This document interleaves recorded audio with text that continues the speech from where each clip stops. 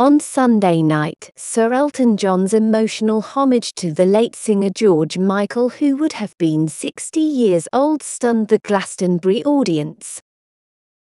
The 76 year old pop great, who was good friends with the late singing genius, broke down in tears as he headed to the famed Pyramid stage for the Farewell Yellow Brick Road tour's last UK performance. The crowd was in utter wonder at the emotional moment, so the renowned singer picked his iconic 1974 ballad song Don't Let the Sun Go Down on Me. As today would have been George's 60th birthday, Elton began the song with a touching prelude in memory of his late buddy, who passed away from natural causes at the age of 53 in December 2016.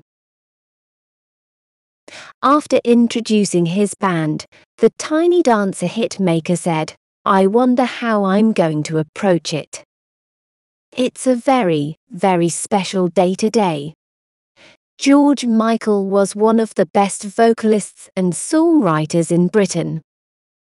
I wish to dedicate this song to my buddy, who was also an influence, since today would have been his 60th birthday. He left us with such beautiful music throughout. George, this is for you. As his musical guests paid him respect on stage, he was spotted taking off his renowned red-tinted glasses to wipe away tears. The crowd was then blown away by the pop icon's stunning rendition of the song during his legendary star-studded show and that was just one of the many shocks Elton brought to the storied event, which mocked what may have been his final ever UK performance. As fireworks went off, the celebrity entered the stage wearing a gold suit and sat down at the piano. He then said he never imagined playing the event for a special and emotional performance. I never imagined I'd perform Glastonbury, and here I am, he stated as he began his act with Pinball Wizard and then played The Witch's Back. I had better play well and keep you entertained because you've been waiting there for so long, and I truly appreciate all the dresses and everything.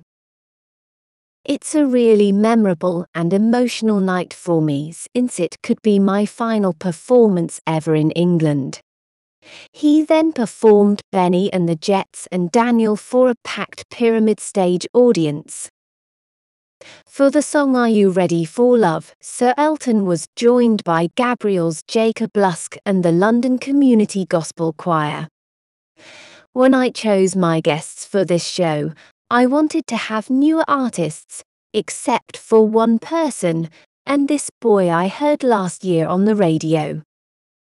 I've asked him to come to Glastonbury to do his song, and he's an amazing young talent, he said after Someone Saved My Life Tonight was performed.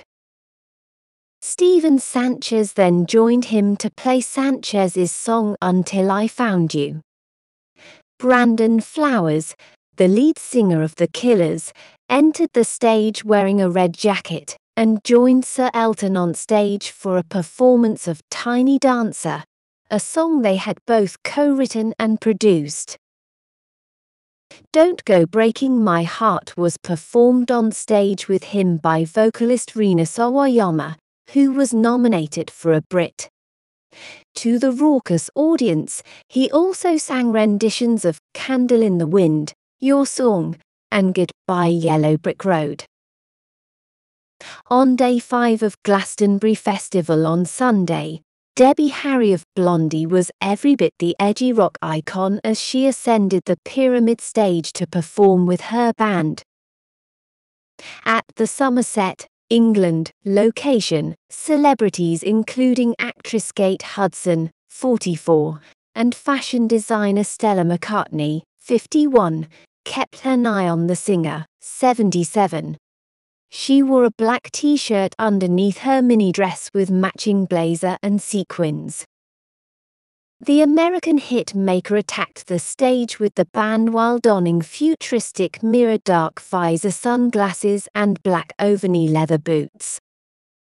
Blondie started their concert with the popular song One Way or Another with static buzzing over the rear screen, but several people in the audience and watching at home complained they couldn't hear.